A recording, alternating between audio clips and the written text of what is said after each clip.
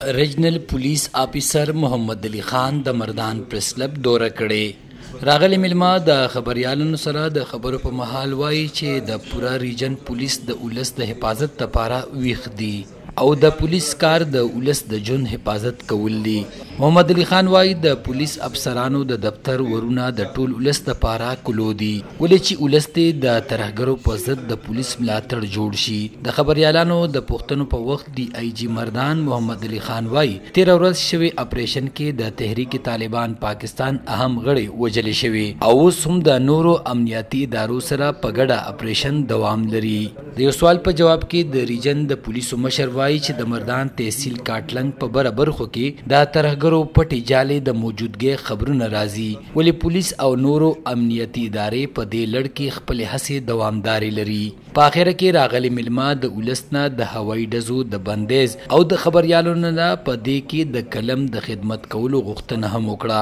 بخت محمد یوسفزی، پښتونخوا ریډیو، مردان. شته جی بلکل شته خو هغه باندی سره سره کار هم شروع دی جی.